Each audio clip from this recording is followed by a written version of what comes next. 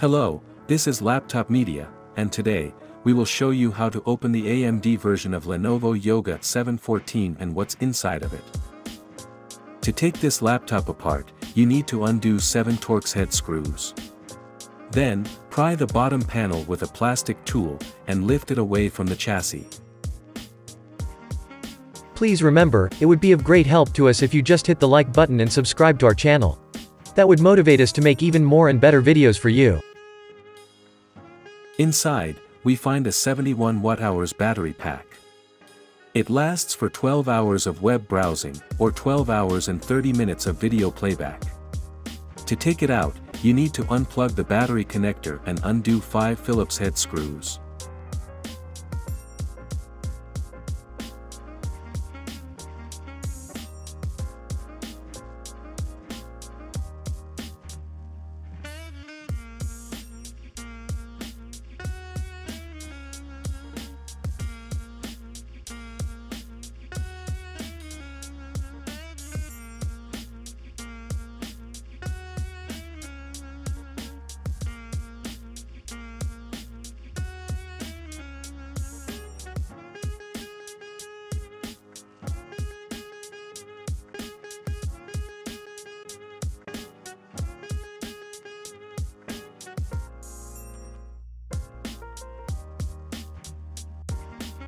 Expectedly, the memory here is soldered to the motherboard.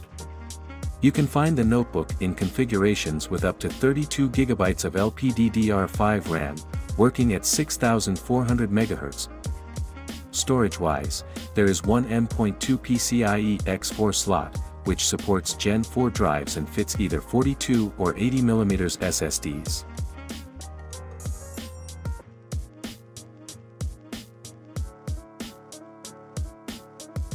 Here, the processor is cooled by two heat pipes, a heat sink, and a fan.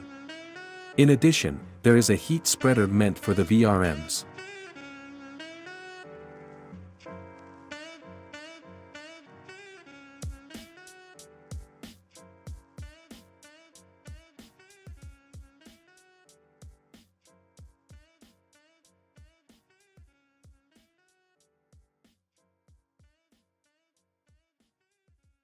If you'd like to see more disassembly videos of the latest notebooks we would highly appreciate if you hit the like button and subscribe to the channel.